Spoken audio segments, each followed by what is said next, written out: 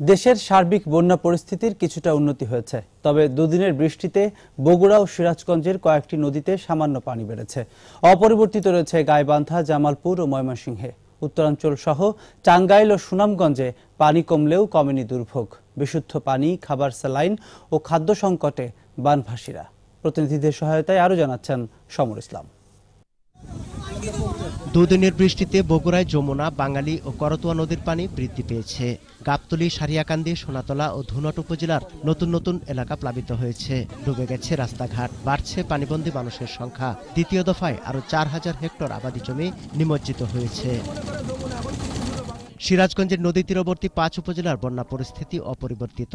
তবে যমুনার শাখা, হুরাসাগর, করতোয়া, ঘুমানি নদীর পানি বৃদ্ধি অব্যাহত থাকায় পশ্চিম শাহজাদপুর ও উল্লাপাড়ায় বন্যা দুর্গতদের দুর্ভোগ বেড়েছে। অনেকেই বাড়িঘর ছেড়ে আশ্রয় নিয়েছে বাঁধ আর উঁচু স্থানে। কৃষি বিভাগের তথ্যমতে বন্যায় গাইবান্ধার চার উপজেলার দশ হাজার আটশো তেত্রিশ হেক্টর জমির সবজি ক্ষেত নষ্ট হয়েছে। ধার দেনা করে যারা আবাদ করেছিলেন সেসব কৃষক রয়েছেন দুশ্চিন্তায়। প্রায় দুই তিন বিঘে পটলের আবাদ করেছিলাম তো খাওয়া শেষ হয়ে গেল এখন কীভাবে চলি চলার তো পথ নাই। জামালপুরে বন্যা পরিস্থিতি অপরিবর্তিত রয়েছে। ষাটটি আশ্রয় কেন্দ্রে বিয়াল্লিশ হাজার সাতশো ত্রিশ জন বানভাসী আশ্রয় নিয়েছে। দুর্গত এলাকায় খাবার, বিশুদ্ধ পানি ও গোখাদ্যের সংকট চরমে। ফসল তলিয়ে যাওয়ায় চাষিরা দুশ্চিন্তায়।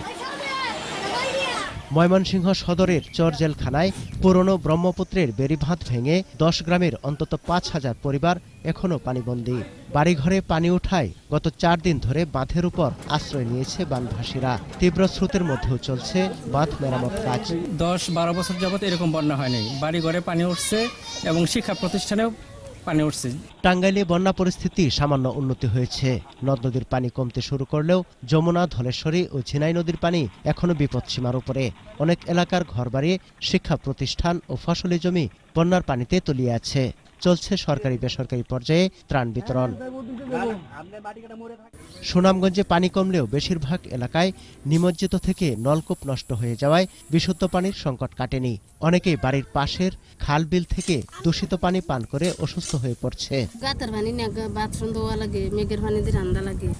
সমর ইসলাম একুশে টেলিভিশন।